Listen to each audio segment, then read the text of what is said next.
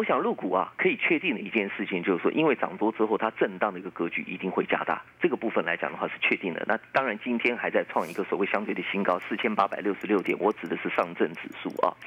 那它的震荡加剧，那当然就是说，陆中国大陆来讲的话呢，呃，你如果说是。有想要啊，就是说中中国政府想要打压入股的一个情况，那实际上来讲的话，其实也出现这种情况，所以说他们的资金本身呢也有做转向。前前几波上涨的格局里面呢，那当然就是说是跟所谓的啊，就是所谓的啊“一带一路”也好，或者是亚投行也好，或者是比较比较就是说是啊这个投机的个股也好，可是近期已经进到蓝筹股在上涨了啊，也就是说它本身的资金还是绕在股市里面，只是呢越买就是买越稳健的个股，反而最近的蓝筹股啊。反而涨的是最多，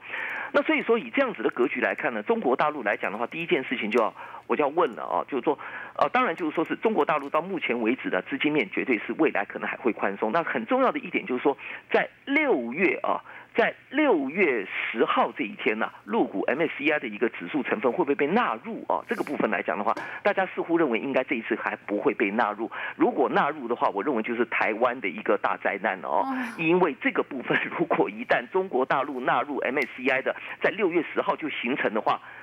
我看台北股市的量能可能还会可能有机会萎缩到五百亿以下哦。那这个部分来讲的话，如果纳入，那对对台湾绝对。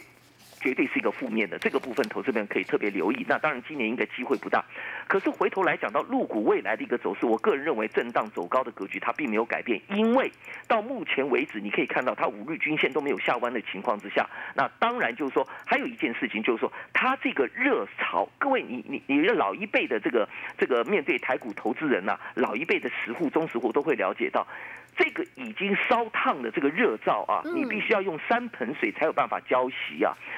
各位，你如果有空的话，现在去中国大陆，因为上证嘛，上证在上海这个地方，你去上海，上海那个走一走啊，你可以知道那边疯狂疯狂的一个程度啊。那当然，在这种疯狂的程度之下，极有可能有泡沫的一个产生。可是到目前为止，第一盆水还没有下来。那我们说是三盆水才有办法浇洗，那连第一盆水都还没有下来，所以说我们知道。当地有很多人也准备用融券的方式等待，一旦泡沫形成就做放空的动作。可是到目前为止，准备归准备，到目前为止整体上面的股市仍然是非常的热，成交量大，那绝对是一个警讯。但是呢，三盆水第一盆水还没有下来，那么指数我认为都还有过高的机会。